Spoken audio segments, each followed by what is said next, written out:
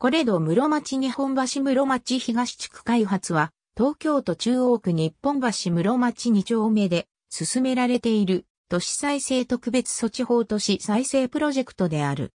事業者は三井不動産、野村不動産など。コンセプトは残しながら、蘇らせながら作っていく。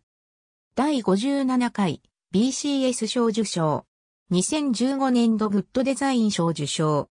日本の中心であった日本橋地区の歴史や文化を再生させ、さらに新しい文化を発信する拠点として、再び活性化させることを目標とした都市再生プロジェクトである。地権者が異なる5地区が都市再生特区の指定を受けることは他の都市再生プロジェクトに比べ珍しい例と言える。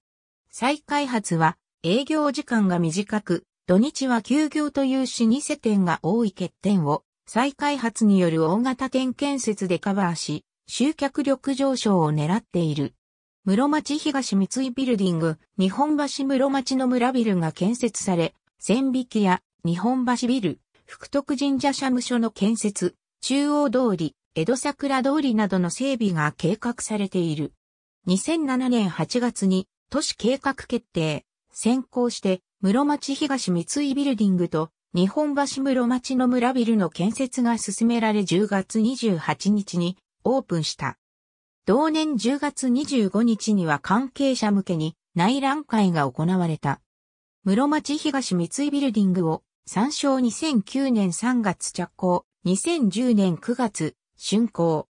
10月1日開業。来館者数を500万人、売上を40億円と予想している。2008年10月着工、2010年9月30日、竣工、新生銀行本店や日本最大の店舗となる、ジョージ・ジェンセンなどが入居する。2011年6月着工、2012年11月、竣工予定。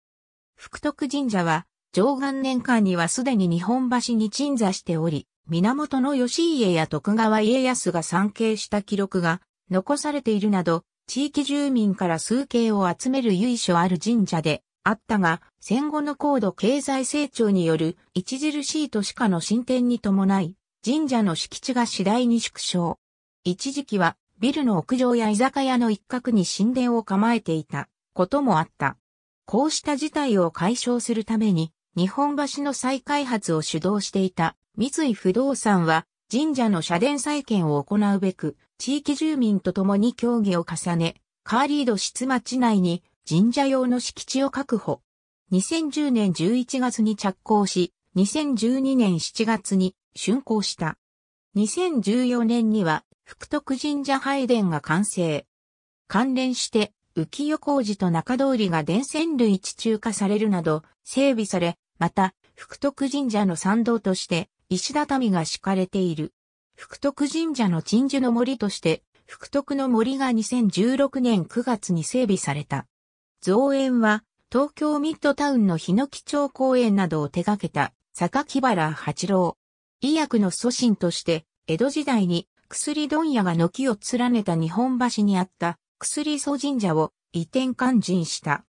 五条天神社の分霊で公益社団法人東京薬事協会の所有物であるので宗教法人ではない。